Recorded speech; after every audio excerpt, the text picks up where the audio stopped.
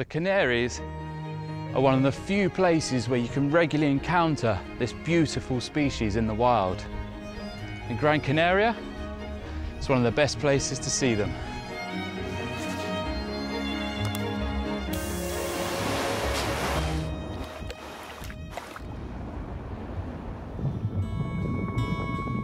The angel shark.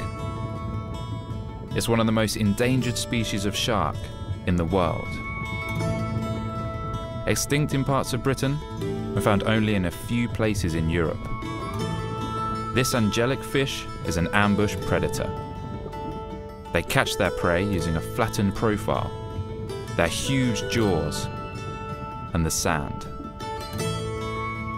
It would be catastrophic to see this remarkable shark disappear from our oceans for good.